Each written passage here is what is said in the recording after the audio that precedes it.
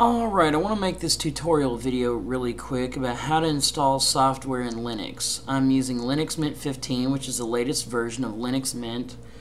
Um, here in about a month or so, keep in mind it's October 1st of 2013.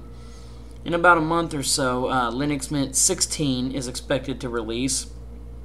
I'm excited about it because Linux Mint 15 uh, was was pretty good. I mean, in my opinion. Um, I want to show you how to install software in Linux. And you notice I hover my mouse over here. It says Synaptic Package Manager. It's one of the most common ways I use. Or you can use the Software Manager.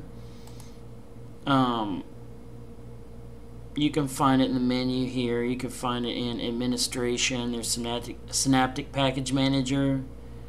You can um, you can also find it in System. You can find it in System Tools. You can use the um, Oh, where is it? I know it's gotta be in here somewhere. Administration. Um. Um. Hmm. Oh, software manager right there. See, it says install new applications. Um. But um. So yeah, you can either use the Synaptic Package Manager, which is one of my favorite, or you can use a software manager. Um, or if you want to use the terminal, you can just um, type in then the name of the program you want to install. But I don't want to do that.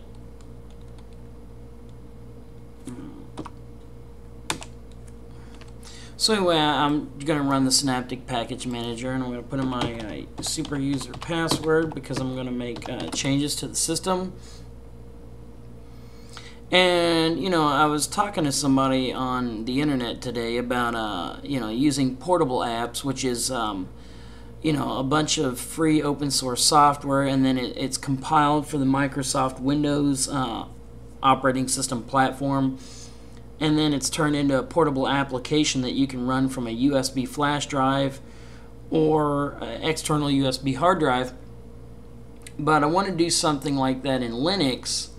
So we time as um, let's see, well not runs, but uh, um,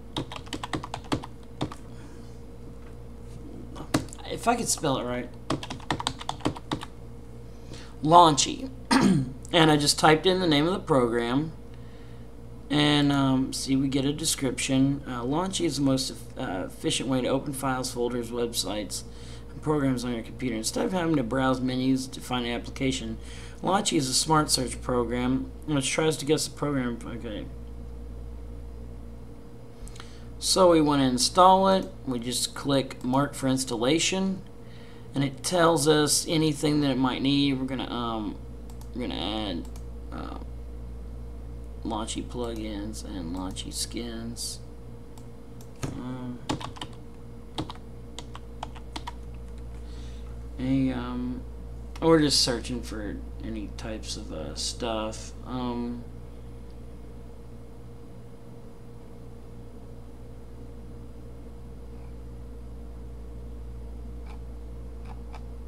hmm. Now there's a program I used to know of, Zero.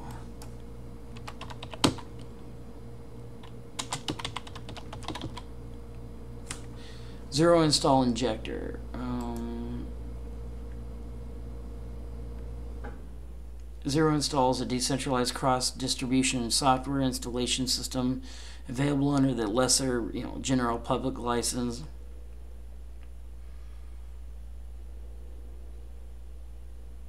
We can go to install it. Yeah, we can give it a try. And then, well, I don't want to really necessarily get rid of that. Wait. Nah, I'm just gonna ignore that. Um, let's see. Look for an arcade emulator. Okay, Xmame tools. I'm gonna install that. Um.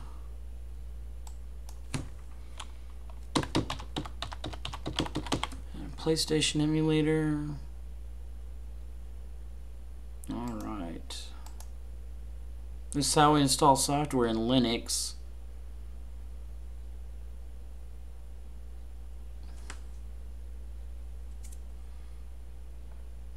Oh, we're going to get another program.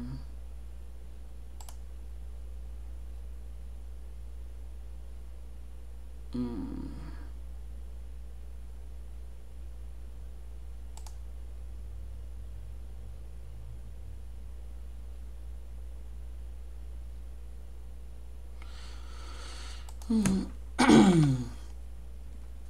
I heard that PlayStation 2 emulators exist, but um,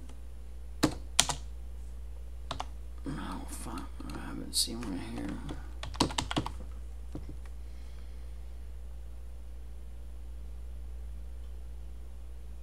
All right.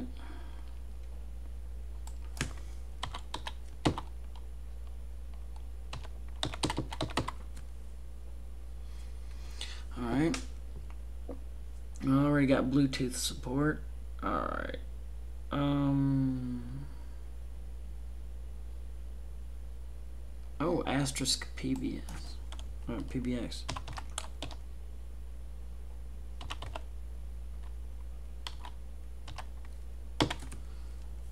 Yeah, the um,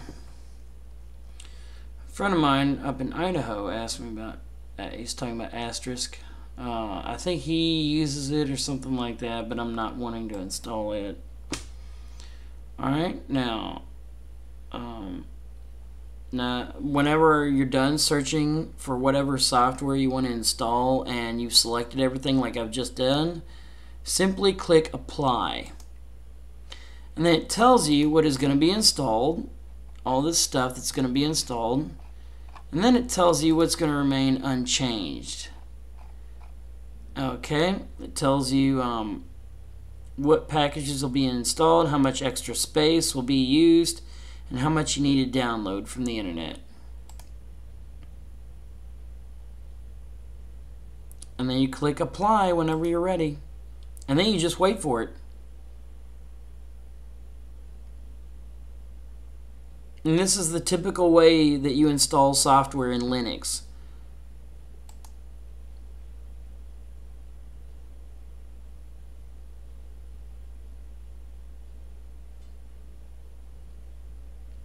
and and it's finished. And, and, you know any of these the typical Linux operating systems like Debian or Linux Mint, which I'm using here, or Ubuntu. I mean, there's other similar ways in um, these other Linux operating systems, uh, uh, GNU Linux operating systems, but it's it's pretty much based upon this process. Um, you know, if you use the uh, software manager, it's pretty good.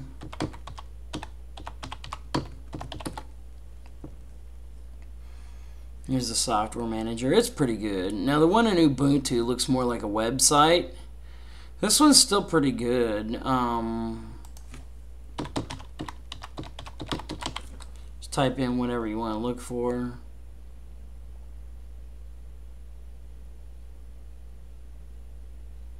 and um, yeah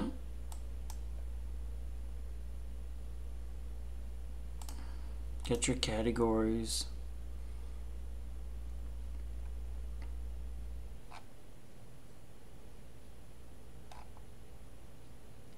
The check mark here means that it's installed already because I went through and installed a lot of things. and uh, we'll install Burger Space through um, through the software manager. So we select it and we double click on it. Now this is a different method. This is the more recent method for installing software.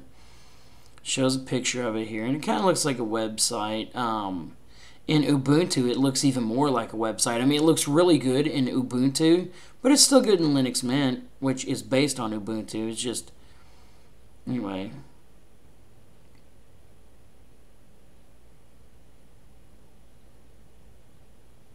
So now it's installed and um, We have our programs in the menu. See, there's Burger Space. I just installed it through the software manager. And then for, um, what did I install in, um,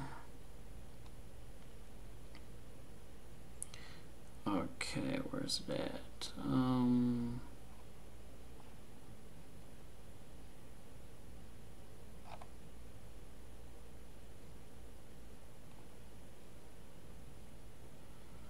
now I installed this one right here the PCSX uh, emulator um, from the Synaptic Package Manager. Um, but I mean, they work. Um,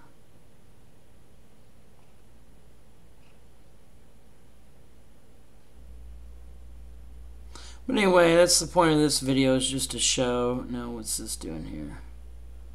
Another application is using apt. Okay, let's find out what application is using that.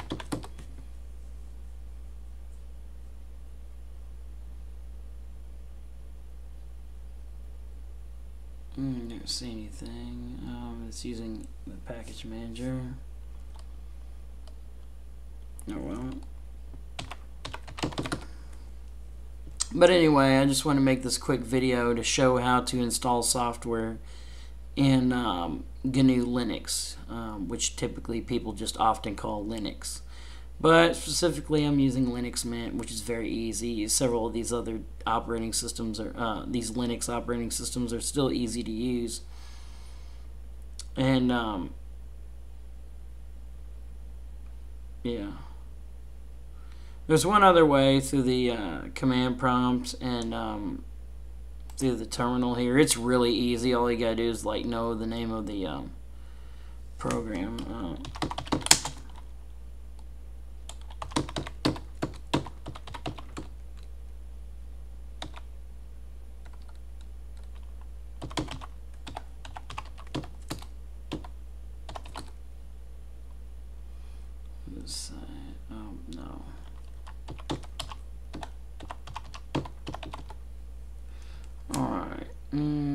options. And looking for search.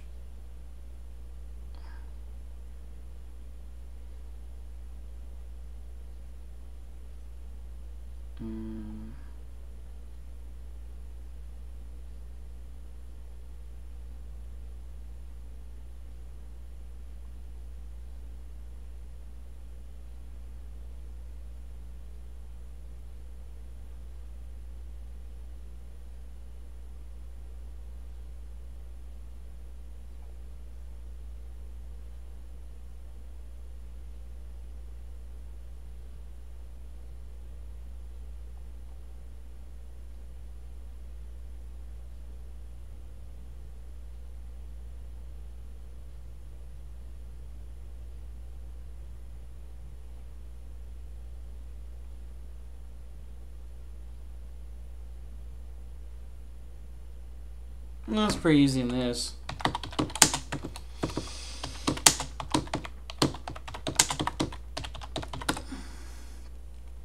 Just updating list of packages.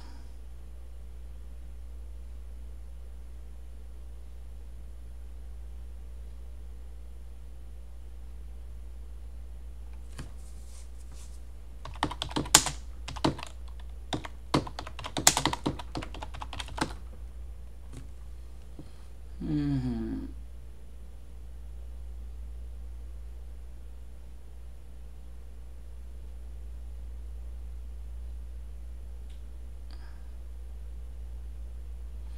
Oh, look at this. Um, maybe get a new kernel.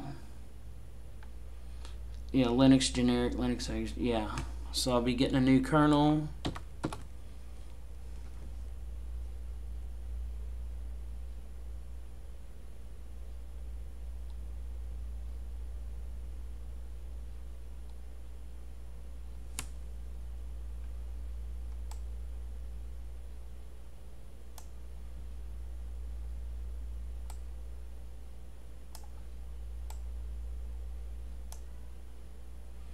I just can't get over these transparencies. It's so neat.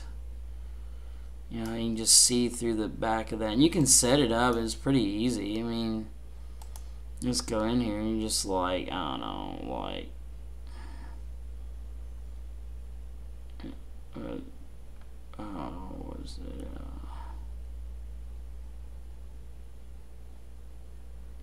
I think it's like profile preferences or whatever. Colors, and you choose your background. You can choose the transparency level. So you can make it, you know, much more transparent, um, less.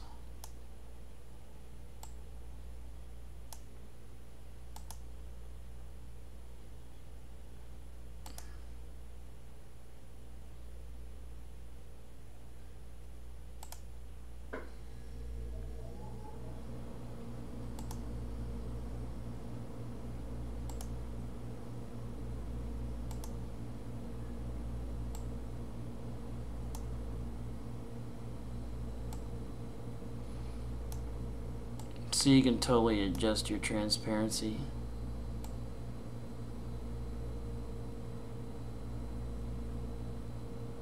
Totally opaque. Progress it over. You can even make it totally transparent.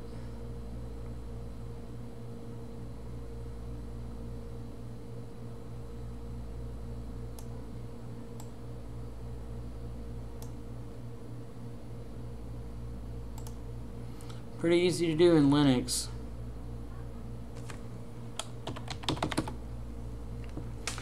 Now, I think I'm going to end this video now and just show you a bit of the process and three different methods. So, uh, yeah, until next time, you know, just keep playing with stuff, keep learning. That's what people have to do. Just let curiosity be your guide and always be careful and cautious, but follow your curiosity, learn how to do things, you know.